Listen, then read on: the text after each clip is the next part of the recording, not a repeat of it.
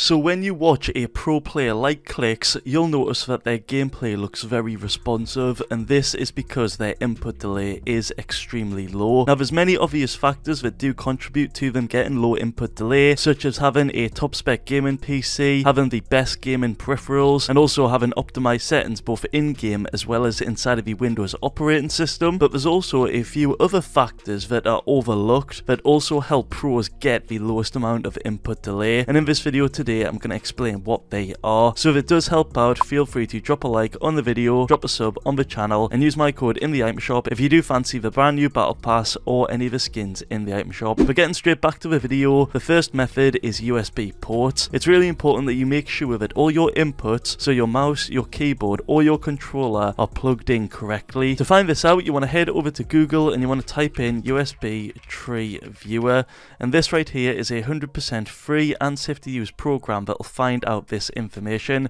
Just click the top one right here, then at the top you'll see a download button, just click that, then make sure you actually select one that's right for your PC and mine is the X64 one. It should be the same for most of you out there. You'll then need to obviously download it and extract it and you'll see the application in itself right here. Just open it up. Then inside of the application you'll see it's got a ton of different USB controller hubs. Now there's a few different ones but the main one we're concerned with is the USB root hub which is the main hub that's on the back of your PC. That's the one that's connected to the CPU and that's where you want to put all the devices that are latency sensitive, such as your mouse, your keyboard, or your controller. You can see here I've got my Logitech uh, G Pro wireless mouse plugged in, as well as my Wooting One keyboard. However, for all the other devices that aren't USB sensitive, such as all these right here, I've got them plugged wherever I want really. So it could be in the other hubs, such as the one that's on the front of the PC, or any other additional ones you have, it doesn't matter. But make sure that both the mouse, keyboard, or controller are all plugged into the first one, the very top one right here,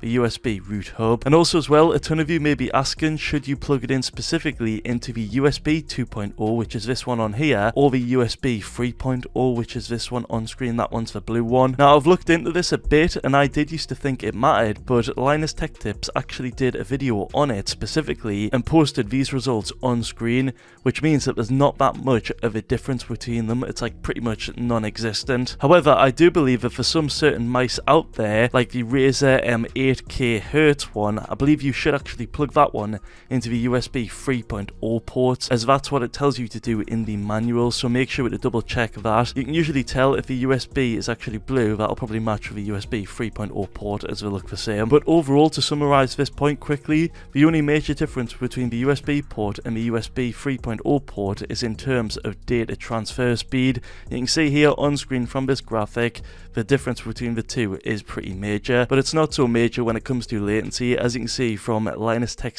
Tips. Next we've got the Windows mouse settings and you need to make sure that these are set up correctly for the lowest amount of input delay. To do this go onto your desktop, head to the bottom left, you want to right click on the menu, click on settings, then inside of here go into devices and then where it says mouse on the left hand side click that then go to the right hand side where it says additional mouse options and this will open up your mouse properties. Now firstly in the pointer options you'll see in here there's a total of 11 notches and you want to make sure this is on the default speed of 6 out of 11 which is literally 6 notches along. That's apparently the best one for 100% mouse accuracy and then in addition to that under it you'll see enhanced pointer precision and you want to make sure that this is unchecked as what this will do is it will disable mouse acceleration and mouse acceleration is generally regarded as bad for gaming. On top of that as well, if you actually use a wireless mouse that a lot of you actually will, you want to make sure it's set up correctly like this um, picture on screen right here. Most of them come with a little dongle, you want to make sure that that is plugged in and is actually near your mouse, similar to where you'd have the mouse wire itself, like literally right next to it if you can. What you don't want to do is what some people do where they literally just plug the actual adapter straight into the back of their PC, and that's bad because the distance from the mouse to the receiver is very, very very long. Instead, you want to use that dongle to actually make the distance between the mouse and the receiver as short as possible, which will in turn give you the lowest latency. Next, we've got polling rate. Now, polling rate, if you didn't know already, is how often your mouse reports back your movements to your computer. So if you are using a higher polling rate, you will have less mouse lag and your movements will be way more precise. You'll basically get far less micro stuttering when using a high polling rate. And to make sure you're using the highest polling rate possible, you want to to go into your mouse software, mine is the Logitech G Hub software right here for my Logitech mouse, and on the left hand side under where it says sensitivity DPI, you'll see at the bottom it's got the report rate. It has different names, it's either polling rate, report rate, it's either one of them, and you'll see here mine actually has a total of four options, but yours might have even higher, but a lot of people think it's fine to have a thousand.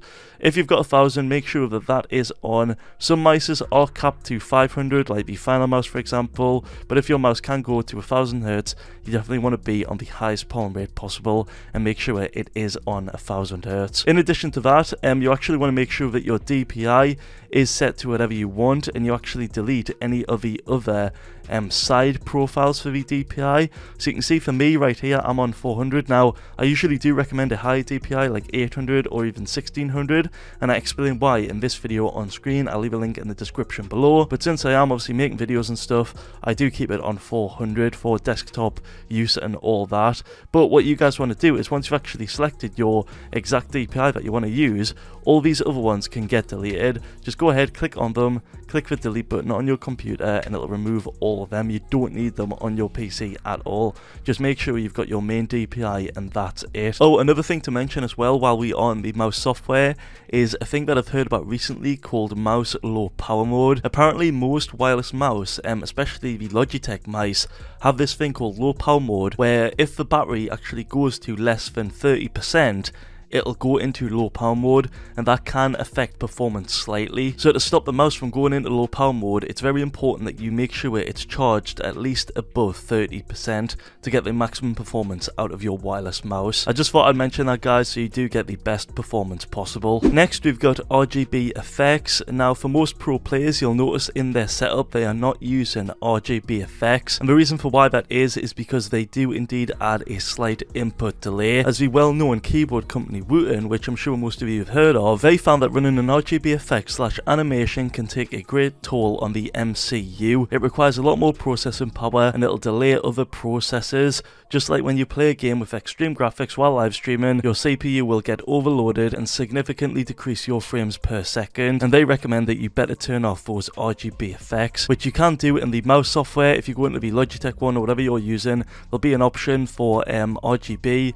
This is actually under light sync and if you just go ahead and make sure that it's turned off you'll see that on your mouse there's no more RGB and it's the same thing inside of keyboard software and there'll be a color option where you can actually go ahead and turn off the FX or the RGB and just go ahead and turn it off and you'll see on your keyboard the RGB is no longer there. And moving on finally I want to talk about monitor latency. You guys need to make sure you are actually on the highest refresh rate possible as a lot of people think they are but they actually aren't. To find this out most people actually go on their desktop, they right click uh, on it, they go into the NVIDIA control panel, they'll go into the display tab under where it says change resolution and then under refresh rate here they'll make sure they've got the highest one selected. But that right there isn't enough, you also want to go over to your desktop, you want to right click on it, you want to go under the display settings tab, then if you scroll down in the display section you want to click on advanced display settings, then finally what you want to do is choose the display you want to actually have the most refresh rate on. I myself have three monitors and the BenQ is my main um, center monitor that I game on,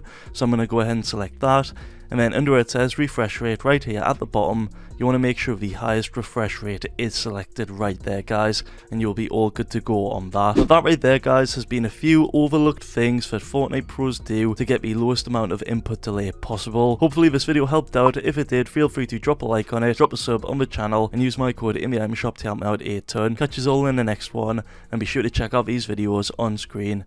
Peace.